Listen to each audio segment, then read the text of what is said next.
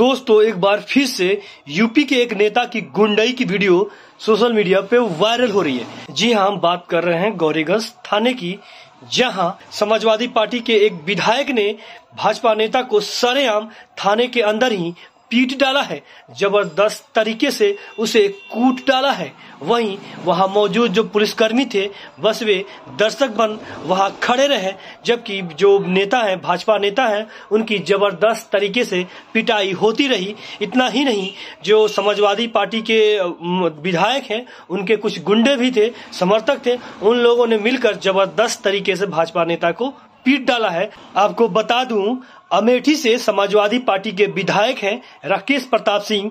उन्होंने भाजपा नेता को गौरीगंज थाने के अंदर ही पुलिस वालों के सामने जमकर पीटा है। आइए इस मामले को हम विस्तार से समझते हैं। दरअसल, यह पूरा मामला यूपी के गौरीगंज कोतावली थाना का है, जहाँ थाने के अंदर जो दीपक सिंह, जो कि भाजपा नेता है, और दीपक सिंह के बारे में बता दूँ, उनकी पत्नी रश्मि सिंह, जो कि भाजपा उम्मीदवार हैं गौरीगंज नगर निगम की उम्मीदवार हैं, प्रत्याशी हैं, और दीपक सिंह यहाँ पे खड़े हैं, किसी से बात कर रहे हैं, काफ़ी गुस्से में है, और गाली गलौज भी यहाँ पे हो रहा है। तभी अचानक से आप देखिए इस वीडियो में, अचानक से समाजवादी पार्टी के जो विधायक हैं बता दूँ, अमेठी से विधायक हैं, राकेश प्रताप सिंह। वे गुस्से में आते हैं और अचानक से टूट पड़ते हैं और दीपक सिंह को ज़बरदस्त तरीके से उनकी पिटाई करने लग जाते हैं। इतना ही नहीं, उनके कुछ गुंडे हैं विधायक के और उनके समर्थक वे भी आ जाते हैं और इनको घींच के ज़बरदस्त तरीके से कैसे उनकी पिटाई कर रहे हैं।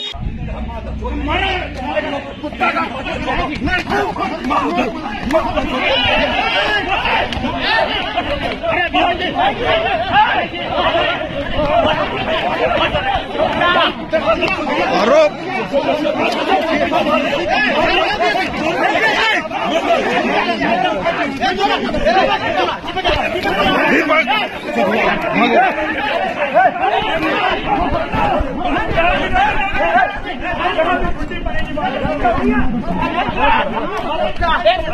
ঠিক আছে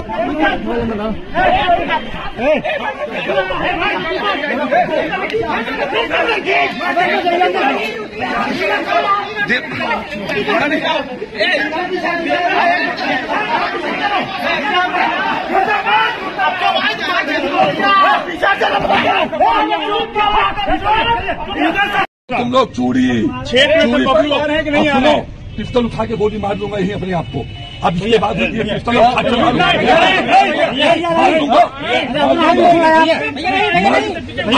या तो उनको मार दूँगा तो अपने आप को मार दूँगा अरे उनका मादक चोर को मार दी जाए यार उनका मादक चोर को मार दी जाए यार